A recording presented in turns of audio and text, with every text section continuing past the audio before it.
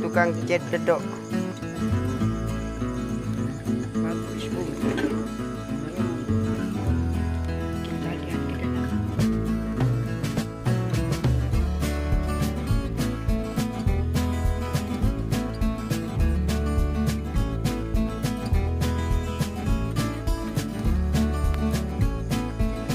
tukang cat perempuan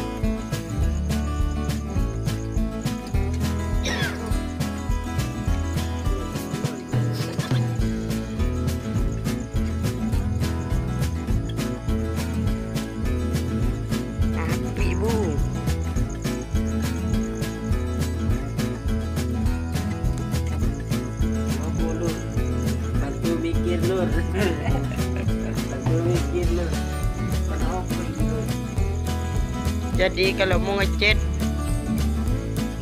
hubungin ini nih nih